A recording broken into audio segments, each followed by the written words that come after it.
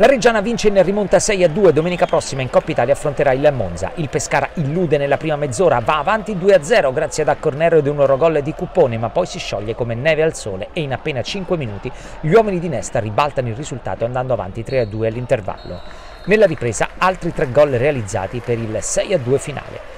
Nelle scelte iniziali il tecnico boemo lascia fuori Milani per Moruzzi e opta per la coppia di centrali formata da Mesic e Pellacani.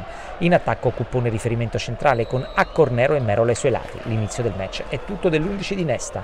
La Reggiana prima prova a punire la corsia di destra del Pescara con Pierno, spesso fuori posizione, poi sciupa il vantaggio con Portanova che da due passi al decimo non trova la porta. Il Pescara piano piano prende campo, Mano e Dagasso aggrediscono alti e Accornero finalizza la prima opportunità con una bella conclusione da lontano degliata da Cigarini, minuto 13.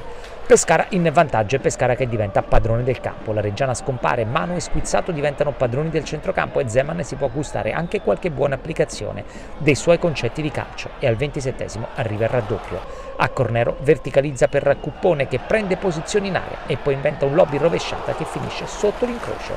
Incredibile ma vero, Pescara avanti 2-0. Poi i 5 minuti da incubo. Prima il rigore, fallo di A Cornero su Fiamozzi, trasforma la linea, poi il pari di Portanova, colpo di testa vincente sugli sviluppi di un corner e al 42esimo il sorpasso firmato da Girman.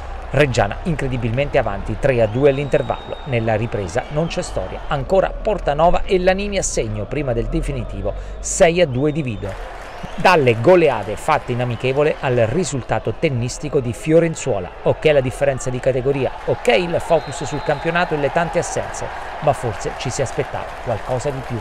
Disordini tra le due tifoserie all'uscita dello stadio.